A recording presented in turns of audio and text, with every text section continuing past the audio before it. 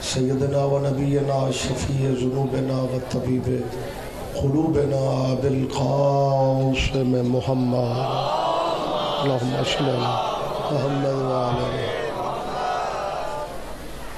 मोहम्मद तयबीन ताहरीन मासूमीन मजलूमीन अम्माबाद खाला सुबहाना फ़ी किताब मजीद व खिताब हमीद।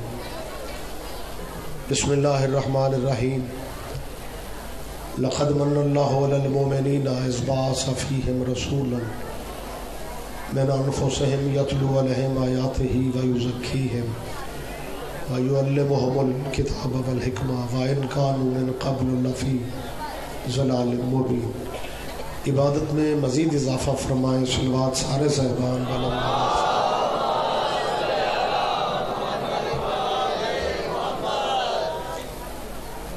इस बार गाहे जलीलतुल्क़द्र में। आप जितने मोमिन मोमिनत तशरीफ़ फरमा है, अल्लाह हम सब की हाज़िरी, इबादत में शुमार जो दुआएँ आप हजरात जहनों में लिए बैठे हैं शहजादी कौनैन का सदका, अल्लाह किसी का दामन मुराद खाली न लौटा। खसूसी दुआ फरमाए, अल्लाह बानिया ने मजलिस के रिस्क और इज़्ज़त में इजाफा फरमा अपने मुल्क को, वतन के लिए दुआ फरमाए कि अल्लाह, इन हालात में हमारे वतन की हिफाजत फरमाए। और हमारे वारिस के जहूर में अल्लाह ताजीर फरमाए। इन दुआओं की कबूलियत के लिए सिलवात बुलंद आवाज़ से सारे साहब।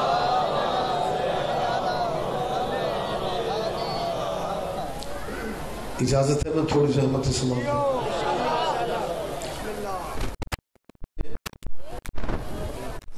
की तरतीब जो है वो कुछ बानियान की मजबूरियाँ, कुछ पढ़ने वालों की मजबूरियाँ।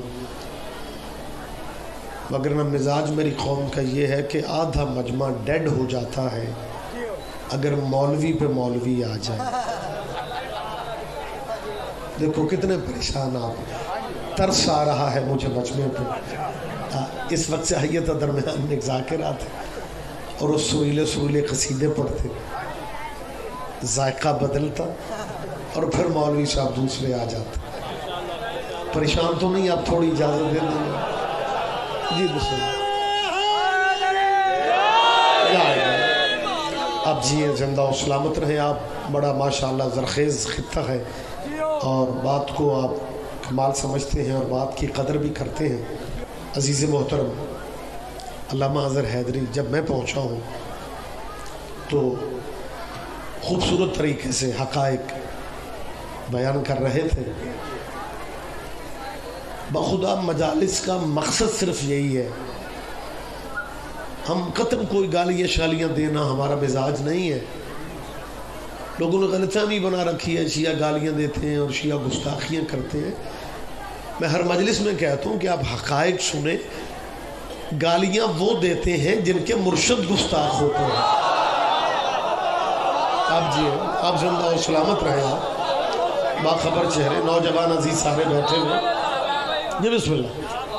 हम तो कतन किसी के बारे में, ये मतलब सवाल ही पैदा नहीं होता। आल मोहम्मद के मेंबर की, आल मोहम्मद के सहन की एक तहजीब है। और उस तहजीब की, हदूद की जो दायरा बंदी है ना, हम चाहते हुए भी उससे बाहर नहीं निकल सकते। होता है ना बंदा, पानियों का असर होता है, मौसमों का असर होता है, बंदा जज्बात, लोग जज्बाती होते हैं, हम नहीं हो सकते। लेकिन इसके बावजूद हमारे मेंबर की एक तहजीब है, हम उस दायरे से बाहर नहीं जा सकते। क्योंकि हम कातिलों को शरबत पिलाने वालों की बायत में हैं। लिहाजा में बहुत सी चीज़ें बर्दाश्त करना पड़ती हैं।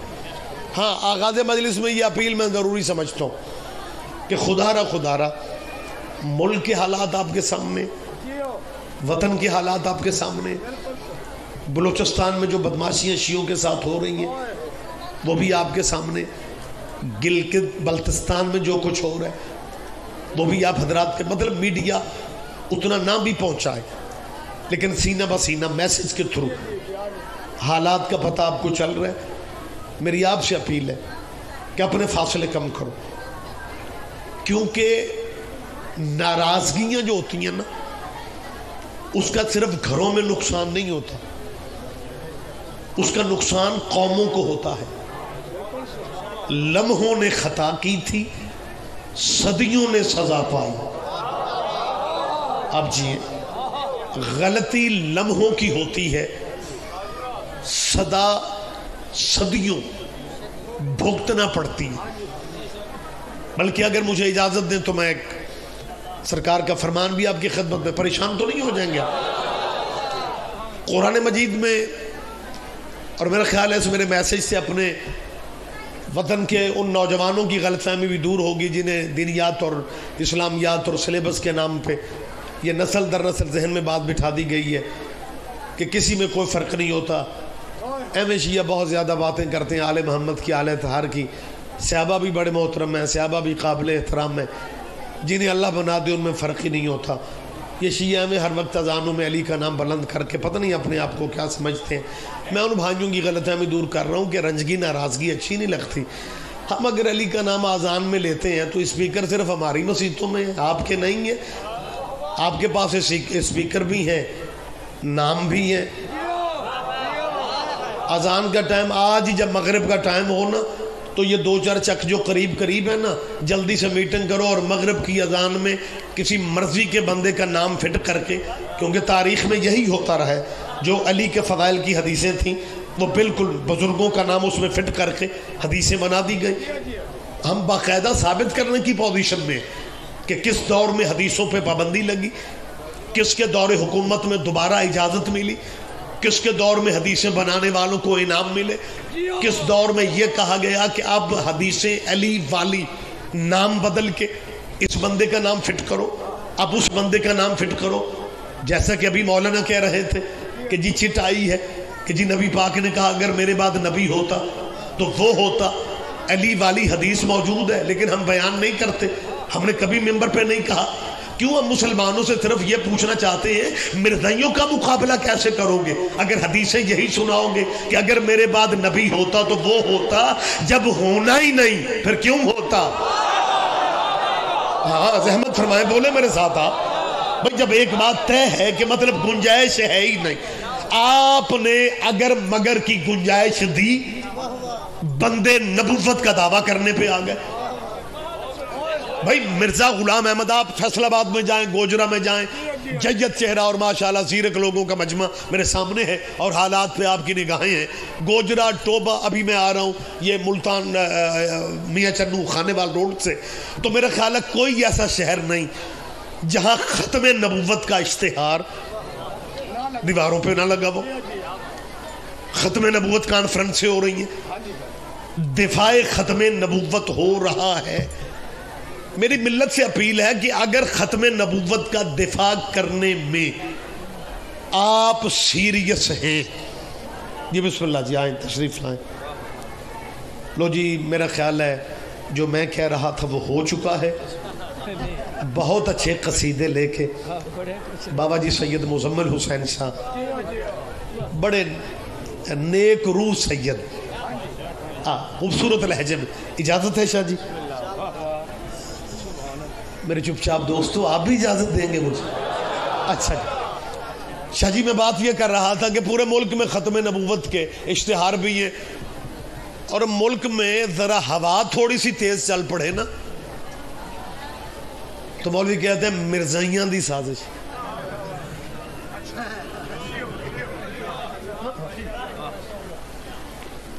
ये तब्दीली आ गई। मिर्ज़ा मिर्जाई पाकिस्तान का इसकाम नहीं देखना चाहते। जनाब, आप भी अपने रवैयों पे गौर करें। मिर्जाइयों का जुर्म क्या है? कि जी उन्होंने डाका डाला है, डकैती की है ख़त्म नबूवत में। ये चोर है ख़त्म नबूवत के। अकेला मिर्ज़ा गुलाम अहमद चोर है। सैकड़ों बंदे हैं, जिन्होंने मोहम्मद रसूल अल्लाह के बाद नबी होने का दावा किया है। हम शिया गरीब सही, गुनाहगार सही, लेकिन जितने भी झूठे नबी बने हैं तेरे हैं, शिया उनमें कोई भी नहीं। है ना ना, आप आप जागेंगे मेरे साथ, आप जहमत फरमाएँगे। हाँ ये हम फख्र, नौजवानों, हम फख्र कर सकते हैं। और वाकई जहाँ भी जाते हो, फख्र किया करो, अपने अकीदे की सच्चाइयों पे। हमसे पूछते हैं, तुम्हें अली एक बंदा मुझसे कहने लगे, शाह जी, आप भी शिया भी बादशाह बंदे अब मैं सिर्फ़ इतना बता दें कि आखिर अली वली का आपको फ़ायदा क्या हुआ? है मैंने कहा, गल सोनो, शरीफ आदमी जो बस में मंजन बेचता है वो भी अठारह अठारह फ़ायदे। जी, बिस्मिल्लाह सरकार, आप जी हैं, कोई बात नहीं, जहमत फरमाएँगे आप। वो भी अपने मंजन के फ़ायदे गिन लेता है। ठीक है ना मेरी जान? हाँ हाँ लेकिन आप अली की बात कर क्या लगा? नहीं नहीं तोबा तोबा, मेरा मकसद ये नहीं था। लेकिन सिर्फ़ कोई एक फ़ायदा हमें बता दे। मैंने कहा सबसे बड़ा फ़ायदा ये है कि शीयों में खत्म नबूत का चोर कोई नहीं होगा। ये सबसे बड़ा फ़ायदा है। क्या लगा? ये कैसे? मैंने कहा, अभी तुम्हें हमें समझा देते हैं कि हमारे बच्चे अभी बोलना नहीं सीखते, माँ उसे पढ़ाती है। बेटा, मोहम्मद रसूल के बात कहो। अली जन वली अली जन वली वलीउल्लाह अलीजन वलीउल्लाह अगर वो बच्चा बड़ा हो के अल्लामा भी बन जाए और अगर उसके किसी जहन में आ जाए कि जब दुनिया नबी होने का दावा करती है, मैं भी नबी होने का दावा करूँ, या कलमा उसके जहन में आ जाता है, अली की विलायत उसके जहन में आ जाती है कि अलीजन वलीउल्लाह, वो फ़ौरन सोच लेता है कि जब अली जैसा बंदा नबी नहीं बन सका, रबे के बंदे नबी कैसे बन सकते ये भी सोला सरकार। आप जी आप ज़िंदा हो, सलामत रहे मेरे भाई। मेहरबानी सरकार मेहरबानी सरकार, बंदा परवरी है आप।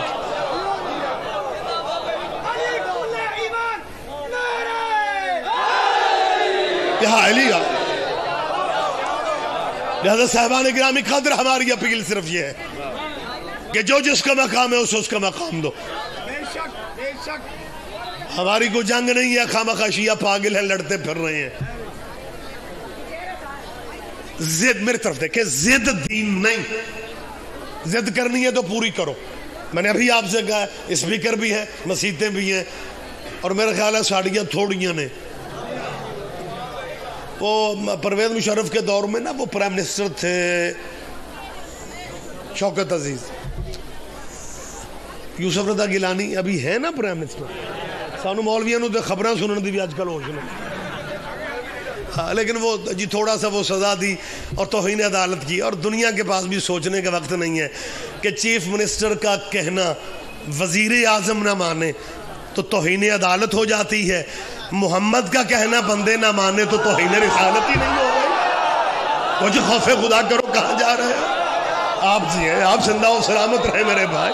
जी, बिस्मिल्लाह बिस्मिल्लाह, मैं फिर कह रहा हूँ। हाँ जी, बिस्मिल्लाह, कम अज कम को मैार तो रहने दो। हम एहतराम करने वाले लोग हैं, लेकिन हमसे ज़बरदस्ती नहीं चलेगी। बात करो तो प्यार से करो, जो जिसका मकाम है उसे उसका मकाम दो। और अगर तुम्हें रौला है कि अली और हर शह बस एक ही है तो फिर आप पाकिस्तान का रौला ख़त्म करो, स्पीकर तेरे मौजूद है। मस्जिदें तुम्हारी हैं। खैर, ये बात मैं बाद में कर लेता हूँ, वो परवेज़ मुशरफ वाले दौर में मैं जानबूझ के नाम मेंबरों पे लेता हूँ। परवेज मुशर्रफ का। प्रोपागंडा इतना ज़्यादा है। बंदे कहते हैं, जी, पता नहीं उसने नुकसान मुल्क को क्या दिया है। याद रखो, जितना मुल्क का फ़ायदा वो कर गया था, हर लम्हे दुनिया उसे याद करेगी। मुझे नहीं पता हुकूमतें क्या नोट करती हैं और क्या जनाब इसके नुकसान होते हैं। लोग लम्हों के साथ बदलते हैं। लेकिन हैदरी खून वो होता है जो मोहसिनों को भूला नहीं करता। आप जी, आप ज़िंदा और सलामत रहे आप।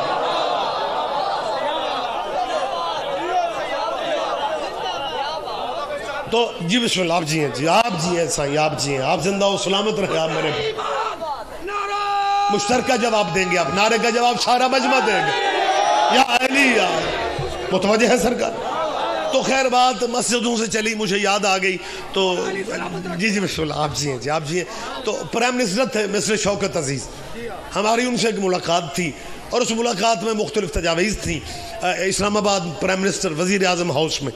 तो उसमें बहुत सी बातें थी, लेकिन क्योंकि इतनी फुर्सत नहीं है, हमने उनमें कुछ फ़ाइलें प्राइम मिनिस्टर के सामने रखी, और उनमें एक जो था, मुतालबा हमारा ये था कि हाँ मुझे याद आ गया। पहले उसने मेरे ख्याल आठ या दस मेहमान थे दो तीन मिनिस्टर थे प्राइम मिनिस्टर बैठे हुए थे, माइक हर बंदे की टेबल पे था।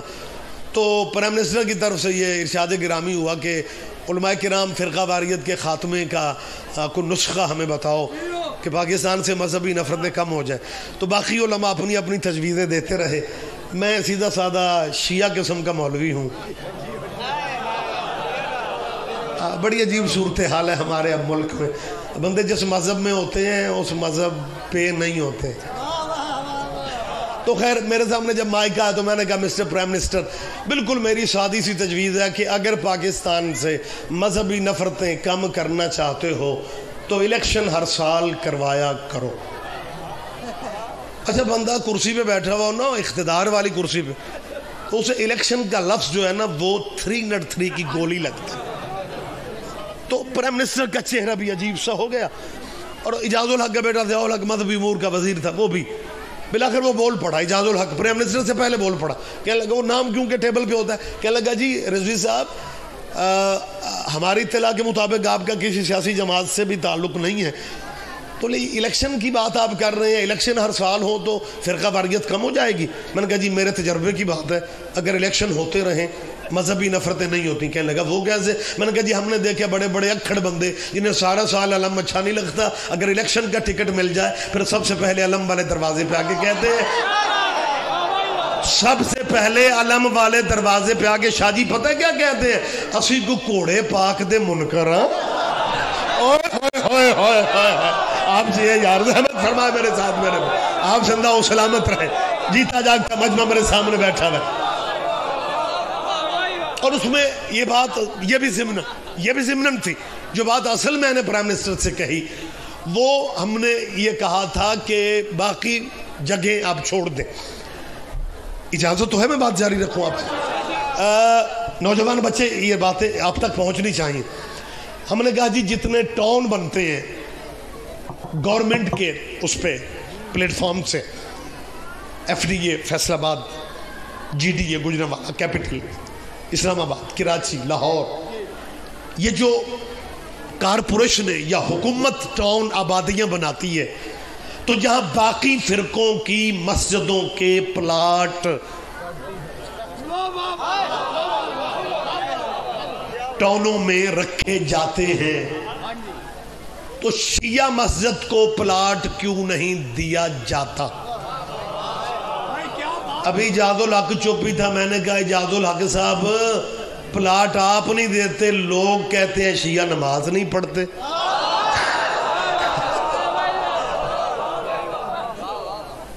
और हकीकत है खुदा की कसम। और उसी में ये बात भी चली थी कि जब से पाकिस्तान बना है, तब से ज्यारतों के रूट है। और उसके बाद हर हुकूमत ने पाबंदी सी लगा रखी है कि जी नया रूट जियारत का नहीं बन सकता। नया रूट मातम का नहीं बन सकता। जब तो मेरी मिल्लत से अपील है। कि आप अपनी सफों में इतिहाद पैदा करें? आप जहाँ भी है, हर बंदे की ज़िम्मेदारी है। और ये हमने को पाकिस्तान इनसे कर्ज मांगना है।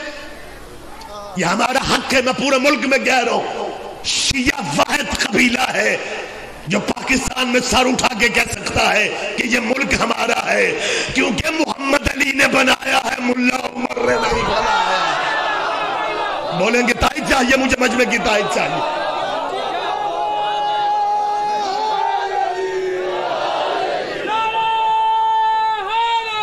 या अली या अली या अली, या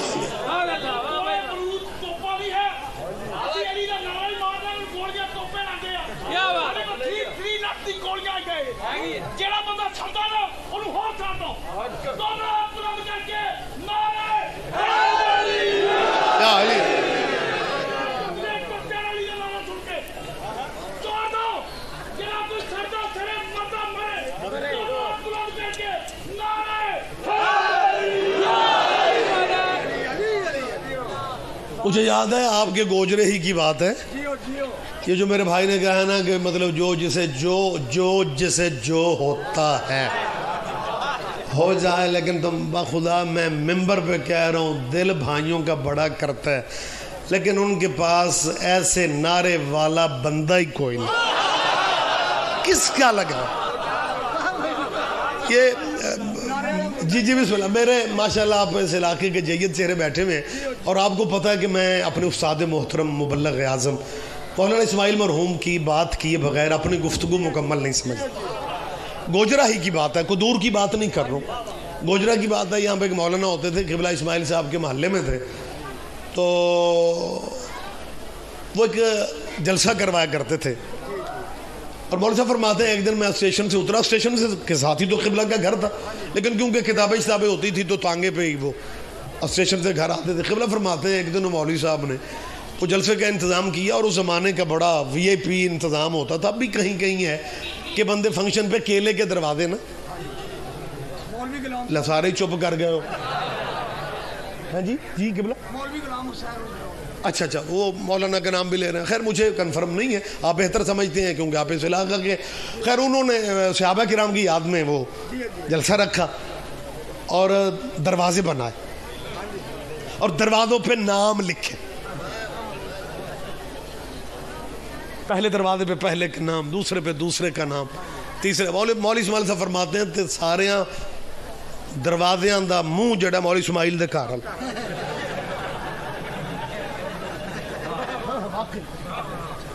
अच्छा मौलाना इसमाइल साहब फरमाते हैं, मैं तांगे से उतरा तो मैंने गौर से देखा। बाबे।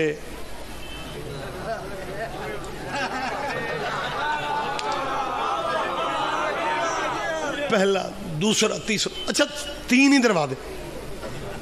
खलीफे चार है। दरवाजे तीन। मौला इसमाइल साहब उतरते ही आगे से मौली साहब वो आ रहे थे।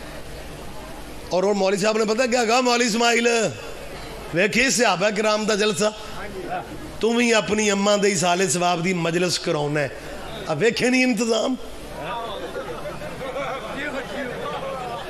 वेख केलियाँ दे दरवाजे मौली साहब ने एक ही फिक्रा का कहने लगे मौली गुलाम हुसैन को केले मुक गए सन कहने लगा नहीं नहीं अभी तो केले माशाल्लाह बहुत बड़े हुए हमारे नहीं कमी होती, बहुत बड़े हुए किबला ने देखा तीन दरवाजे ही बना के ख़त्म। चौथा दरवाज़ा क्यों नहीं बनाया? अल्लाह उस मौलवी को भी अजर देगा, उसकी बात क्या कहने लगा? मौलवी इसमाइल, मौलाना खुद सुनाया करते थे। अब दाइक फरमाएँगे, कहने लगा, उस मौलवी अखीरी कर दी थी। कहने लगा शिया लुट के खा गए और फिर तू चाहता है हमसे कि अली का दरवाज़ा क्यों नहीं बनाया?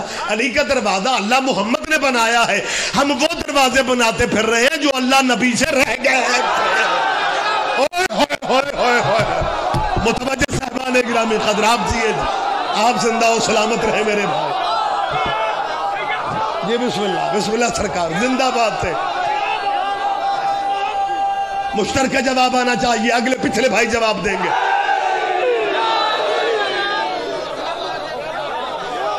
हम, जी बिस्मिल्लाह सरकार।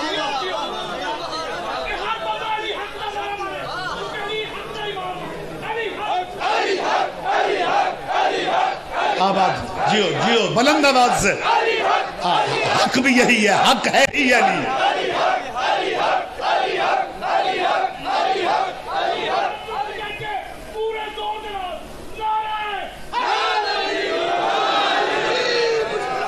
तो है साहबान खतरा जी, बिस्मिल्लाह बिस्मिल्लाह। मेरी जान, प्लीज़ मेहरबानी कर यार। मैं तेरा हुक्म मान लेता, लेकिन दोबारा कहना, सोजियों वाले बंदे का काम है। अब मैनू ना बुला के आखन लग मेरी गल सुनो, बस जो मैं आपसे कह रहा हूँ।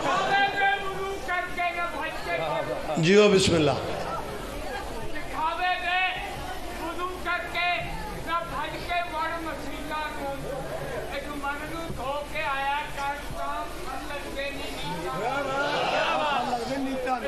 आहा।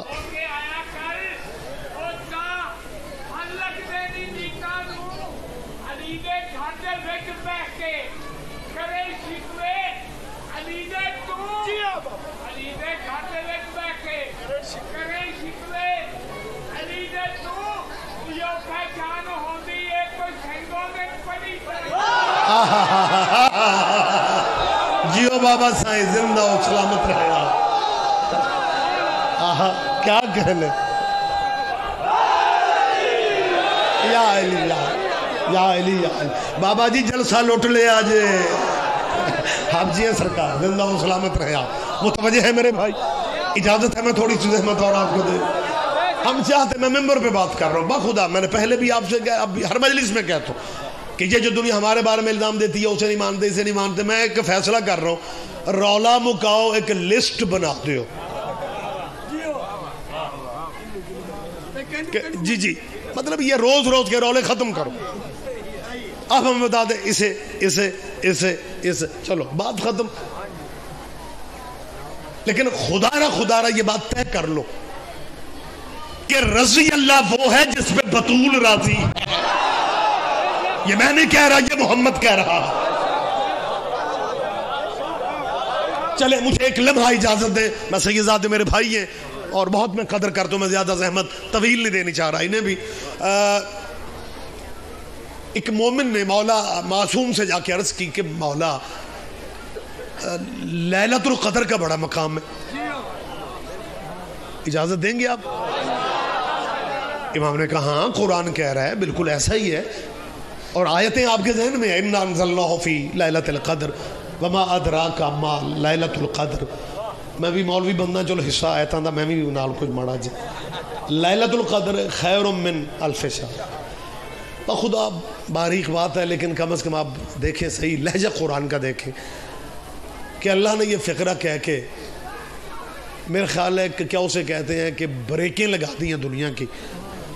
खुदा फरमाता, तुम्हें पता ही नहीं, लैलतुल कदर क्या अब क्योंकि मेंबर पे अवामनास की जो बात है ना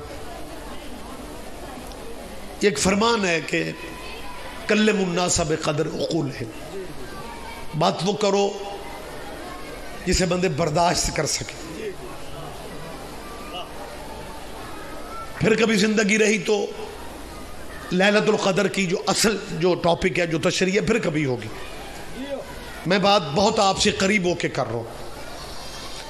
अल्लाह फरमाता है, इसे एक रात की इबादत हज़ार महीनों से अफजल है।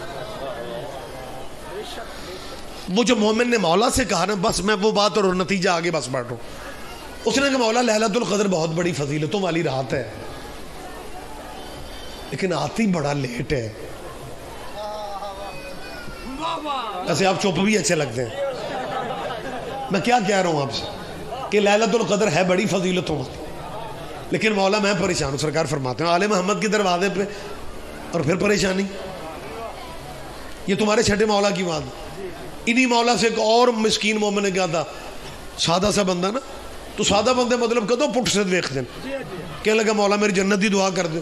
फरमा लगे, हमारी विलायत जन्नत है, उसमें तो हो, और क्या मांगते हो? हाँ दुआ ये मंगवाओ कि कोई बंदा हमारी विलायत से तुम्हें निकाल के ना ले जाए।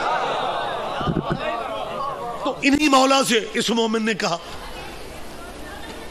अपने छठे वारिस की अगर आप वो पढ़े ना, क्योंकि उन्हें मौका जो है दूसरे वारसों से ज़्यादा मिला है।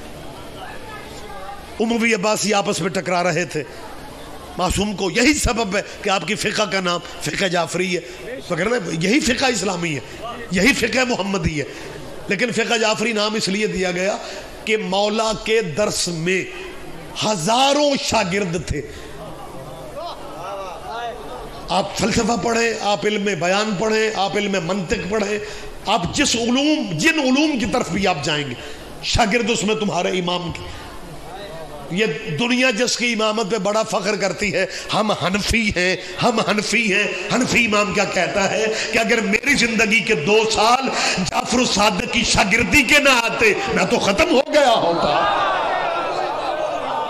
हाँ ये लफ्ज है, ये लफ्ज है खुदा की कसम।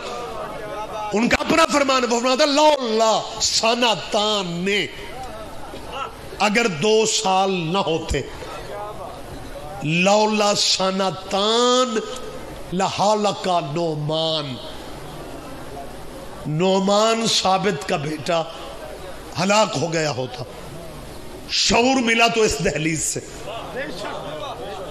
शौर मिला तो इस चौखट से, फिर वो लंबी कहानी है इकतदार दरमियान में आ गए।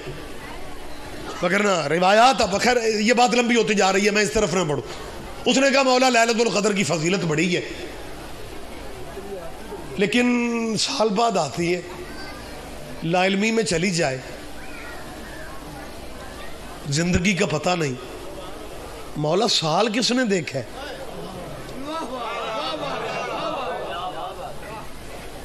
शाह जी, सोजी कितने जे? मैनू दो मैं को कसीदा अज पढ़ा जी बिस्मिल्लाह मुतवजे मुतवजे है मैं अपील कर रहा हूँ उसने मोमिन ने क्या कहा मौला लैलतुल कदर आएगी साल बाद ज़िंदगी का पता कोई नहीं मौला इतनी अजमतों वाली रात कि एक रात का सजदा हज़ार महीनों पे भारी मौला इतना करम इतना फ़सल कि एक रात की इबादत हज़ार महीनों से अफजल मौला फिर साल बाद आएगी ज़िंदगी के एक लम्हे का नहीं पता कि बंदा कब तक है। सांसों का एतबार कोई नहीं। लहलत और कदर आनी है साल के बाद। और ये जो करीब थी, वो गुजर गई। अब साल कौन जिएगा, कौन मरेगा? मौला लैलतुल कदर से तो उसका मतलब है चिट्टा जवाब ना। बंदा महरूम रह गया ना लैलतुल कदर के सवाब से, क्योंकि कल गुजर गई, अब साल बाद आनी है, ज़िंदगी का पता कोई नहीं। लैलतुल खुदा की कसम, मैं मिलत करता हूँ दुनिया की कि फिरके अपने रखो, मज़हब अपने रखो, ना बदलो अपने फिरके, लेकिन बतूल के बेटों के दरवाजों पर आ जाओ। और खुदा तुम्हें मिलेगा बहुत। खुदा की कसम, मौला ने मुआशरती मसाइल हल करने वाली भी हद कर दी। की मसाइल आप इस रिवायत से देखें। उस मोमिन ने कहा, मौला बंदा तो लैलतुल कदर से महरूम रह गया। इमाम फरमाते, दरवाज़ा बतूल के बेटों का हो और बंदा महरूम रह जाए। मौला, साल जीने का पता नहीं। लैलतुल कदर का सवाब कहाँ से मिलेगा? इमाम फरमाते, दो लड़े हुए मोमिनों में सुलह करवा दो। लैलतुल कदर का सवाब मिल जाएगा। अल्लाह अकबर अल्लाह अकबर मुतवजह सरकार। आप जिए, आप ज़िंदा सलामत रहे आप।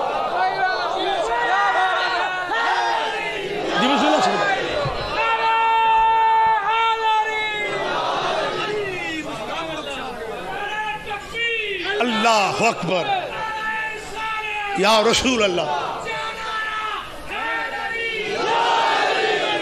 मासूम क्या फरमाते हैं? दो लड़े हुए मोमिनों में। सुलह करवा दो। मुजम्मल शाह जी, जब मौला ने कहा ना, दो लड़े हुए मोमिनों में सुलह करवा दे, लैलतुल कदर का सवाब मिल जाएँगे। कहने लगा, मौला, जे लड़े मोमिन लबनी ना। हाय काश तू आज होता।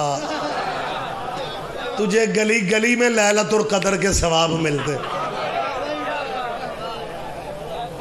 कोई पिंड नहीं बचा, कोई मोहल्ला नहीं, कोई गली नहीं। लेकिन खैर उस दौर की बात कर रहा हूँ, जब मोमिन लड़ते नहीं थे। आपस में ने कहा, दो लड़े हुए मोमिनों में सुलह करवा दे। आप जिए जी लैलतुल कदर का सवाब। बच्चों की बातें याद रखा करो। लहलतुल कदर का सवाब मिल जाएगा। कह लगा, मौला, यही तो मैं परेशान हूँ। मौला, अगर ना मिले लड़े हुए मोमिन तो कहाँ जाए? अब सुनिएगा, ये बातें जहन नशी कीजिए, याद रखें, आगे भी सुनाएँ। मारूसूम फरमाते हैं, दो नाराज़ मोमिन मियाँ बीवी की नाराज़गी का तुझे पता चल जाए। तू उन मियाँ बीवी की सुलह के लिए अपने घर से चल पड़े, सुलह हो या ना हो, तू चल पड़े। लैलतुल कदर का सवाब मिल जाए कहा हो यार? कोई तो जहमत फरमाओ। बोले, मेरे साथ आप समझे तो सही कम अज कम।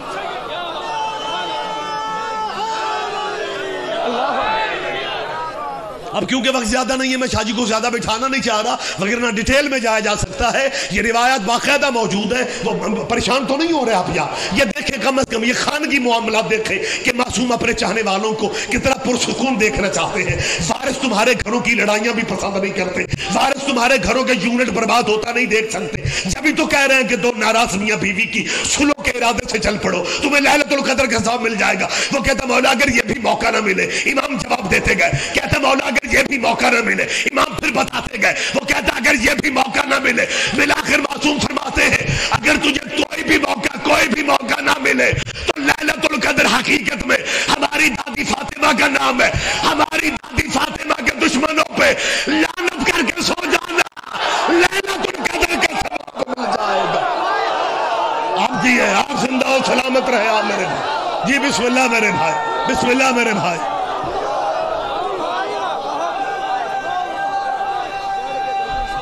जी बिस्मिल्लाह अहले बैत दे दुश्मनों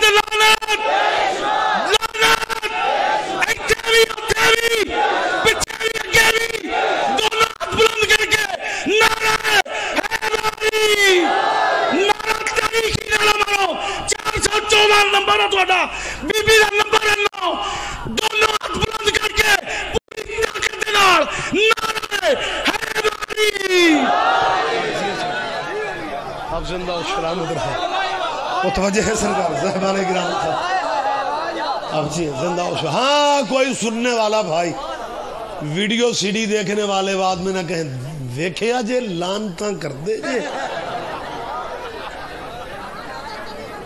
मुझे समझ नहीं आती भाई अच्छा बट अच्छा वक्त तमाम हो गया सिंगल पे डबल अद्धे मुल्क मोटरवे बन चुकी है ये अभी भी सिंगल पे डबल चल रहे हैं भाई सिंगल पे डबल चलोगे तो सब हादसे तो होंगे। मिसाल के तौर पर चौदह में मजलिस हो रही है ना। मजलिस सुन के को बच्चा जाके मौली साहब से क्या, मौलवी जी, मैंने पहली दफ़ा मजलिस सुनी है। अहले बैत के ज़िक्र का तो लुत्फ ही बड़ा आता है। मौली साहब समझते हैं पटरी तो ला गए उसे कहते हैं, बेटा, शीयों से मुतासर ना होना यह कोई इस्लाम का कदीमी फ़िरका नहीं है। मेरी आवाज़ आप तक पहुँच रही है? ये इस्लाम का ए जगह ते पक्की है, मेरा ख्याल है गुस्सा आया किसे शायद ना सुबह अल्लाह इन्ना लीला पढ़ो, मैं टुट जाऊँ। लेकिन यार मतलब बंदा इतना करीब हो गया असल में जहाँ वाकिफ बंदे बैठे हो ना, पाँच, सात, आठ बंदे वाकिफ। एक दूसरे के। वहाँ दिल भी चाह हो ना, फिक्रा बहुत कमाल है। दादे को दिल चाह रहा हो। तो बंदे सीरियस बैठे होते हैं। नाल आके ना, तेन चौखी समझ आँगी मतलब ये भी बात सफ़ा हो जाता है लेकिन आप तो माशाल्लाह जीता जागता निखरा निथरा मजमा मेरे सामने। बस आखिरी बात करके मैं स्टेज भाई को दे रहा हूँ। फिर मवाक़े होते रहते हैं मुलाकातें रहती हैं तस्करा ज़िंदगी पाक भी, भी रखे इन मतलब से और गुफ्तु रहेगी।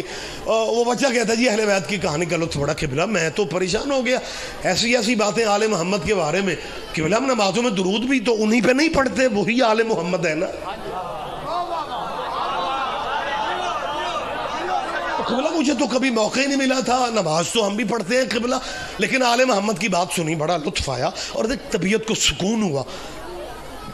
उन्होंने वो रियाज रज़ी साहब ने अपने मौला सरकार सादक की बात की कि उन्होंने कहा कि दो लड़े हुए बंदों में सुलह करवा दे, मियाँ बीवी में सुलह करवा दे, ये सवाब मिल जाएगा, ये सवाब। किबला देखें कितने खूबसूरत बातें हैं ये, जो आल मोहम्मद ही से मिलती है। मौली साहब समझते हैं कि ये बच्चा गया। अब उसे पता कैसे समझाते हैं? बेटा, शीयों से मुतासर ना होना। पहली बात यह है कि ये इस्लाम का कदीमी फ़िरका नहीं। दूसरी बात यह है कि इनके जाकिर मौलवी अंदर से कुछ होते हैं, कहते कुछ हैं। तीसरी बात यह है कि ये कल परसों की बात है, अंग्रेज़ों ने साजिश की, यहूदियों से मिलके, और ये इस्लाम में शिया फ़िरका बना दिया। अब बेटा, कल परसों की बात। इनसे मुतासर ना होना। बेटा, मेरी बात याद रख। कभी भी भूल के भी शियों के करीब ना जाना। अब वो बच्चा कहता कबला, ये तो तय हो गया कि अब मैं नहीं। बिल्कुल ठीक है। लेकिन कबला, एक बात बताएँ तो देर तक मजलिस मजलिस के बाद मातम हुआ। अच्छा पहले कबला मैं समझता था कि हमें माड़े गरीब शिया जो होते हैं, वो मातम करते हैं। मैंने पहली दफ़ा करीब से देखा कि इनमें ज़िम्मेदार भी, वकील भी, डॉक्टर भी, M P M N A level के बंदे, पंचायतों के सरदार बंदे ये सारे मातम करते। कि बोले, ये शिया मातम क्यों करते? फौजें यजीद की थी, लश्कर यजीद के थे, अस्कर यजीद के थे। इनामात कातिलों को देने वाला यजीद था। कि बोला, कातिल तो यजीद बन रहा है। मौली साहब रौला ही खत्म कर देते हैं। और बेटा, इसीलिए हम शियों को कातिल कहते हैं, यजीद भी शिया था इसी अब मेरी बात आप ध्यान से नहीं, मेरा ख्याल है नहीं सुन रहे। जब उस बच्चे को बता दिया जाता है तो देखें कि मौलवी का एक मौलाना का रूप होता है, जिस मज़हब में भी हो। बच्चे अपने मौलाना से झूठ बोलने की तो नहीं रखते। बच्चे ये समझते हैं कि हमारे मौलाना गलत बयान ही नहीं कर सकते। अब उनके मौलाना ने कह दिया कि यजीद शियों का है।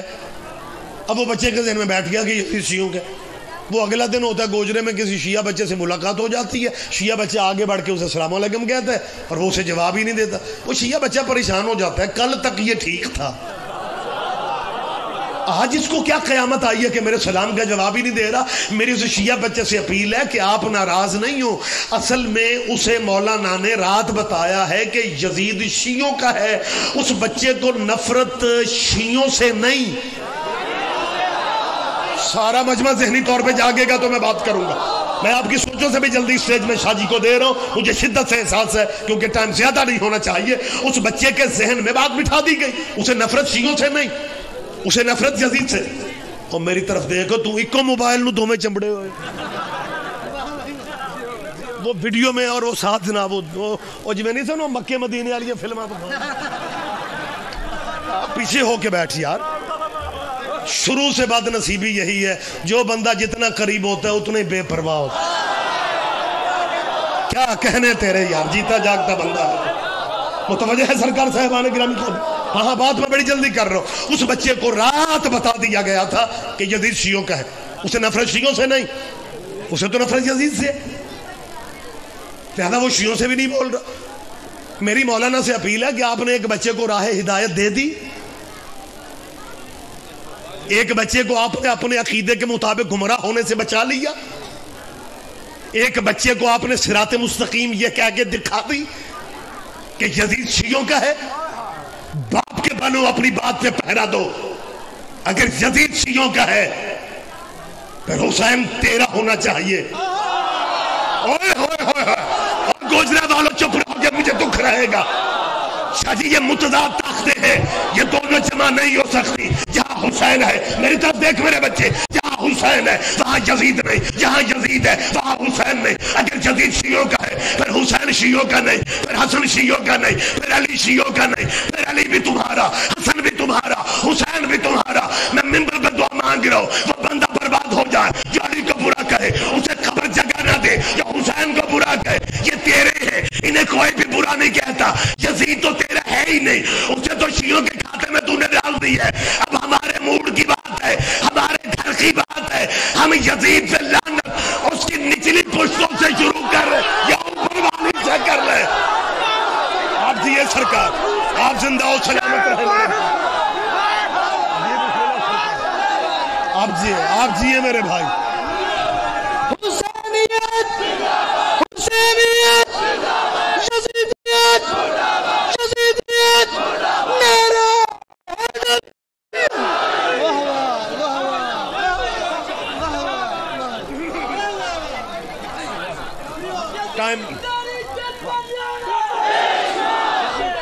शाह जी, आज फिर ज़िंदगी रही बात होगी। टाइम शॉर्ट है, फिर कभी ज़िंदगी या अली मदद, सफ़र तुम बाखुल। आइए सही।